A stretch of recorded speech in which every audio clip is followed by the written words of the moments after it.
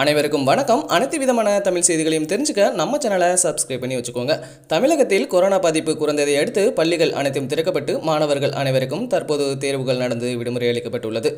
இதனை அடுத்து ஜூன் பதிமூணாம் தேதி பள்ளிகள் திறக்கப்பட உள்ளது. இந்த நிலையில் கடந்த சில நாட்களாகவே கொரோனா பாதிப்பு மீண்டும் அதிகரித்துக் கொண்டே வருகிறது. இதனையடுத்து கொரோனா கட்டுப்பாட்டு நடவடிக்கைகளை தீவிரப்படுத்த தமிழக சுகாதாரத்துறை செயலாளருக்கு மத்திய சுகாதாரத்துறை செயலாளர் கடிதம் அனுப்பியுள்ளார். இது தொடர்பாக மத்திய அரசு தமிழக அரசுக்கு கடிதம் எழுதியுள்ளதை வைத்து பார்க்கும்போது தமிழகத்தில் மீண்டும் கொரோனா தீவிரமாகி நான்காம் அலை உருவாகி விடுமோ என்ற அச்சம் பொதுமக்கள் மத்தியில் எழுந்துள்ளன.